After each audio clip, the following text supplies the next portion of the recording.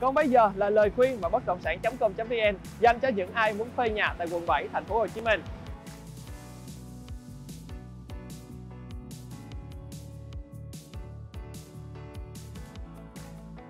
Cuối cùng thì bạn đã có câu trả lời thuê nhà tại quận 7 thì phải tốn thật nhiều tiền chưa?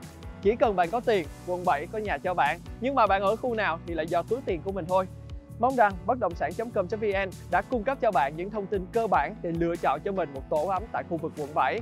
Nếu như bạn muốn biết thêm thông tin chi tiết về giá cũng như các loại hình cho thuê trong khu vực, hãy truy cập vào website bất động sản.com.vn nhé. Hãy để lại cho chúng tôi biết những ý kiến của các bạn bằng cách bình luận phía dưới. Đội ngũ bất động sản.com.vn sẽ tiếp tục đánh giá các thị trường tại các thành phố trong cả nước. Còn bây giờ, xin chào và hẹn gặp lại!